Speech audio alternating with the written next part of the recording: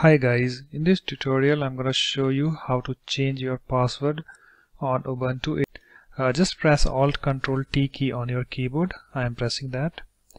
And guys, here you can see we have this terminal, okay? And we have to uh, type this command PASSWD, okay? And guys, this command in video description, you can check it out also.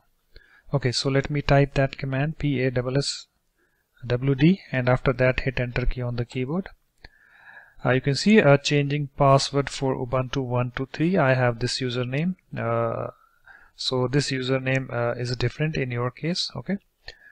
So uh, and after that guys here you can see a current Unix password okay? So you just need to provide your current password okay?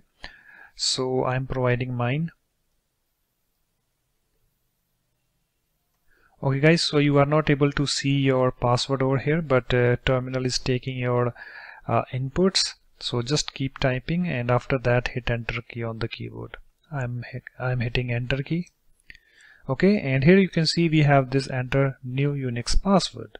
So just type your password that you like. I'm typing that. And after that hit enter key on the keyboard.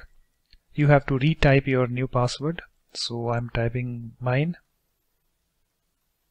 and after that hit enter key on the keyboard. Okay guys so here you can see we have this uh, uh, password updated successfully. Okay so it's now done. So if you want to read a detailed guide related to this video I have the link in the video description. Please subscribe to our YouTube channel and visit my website tutsmake.com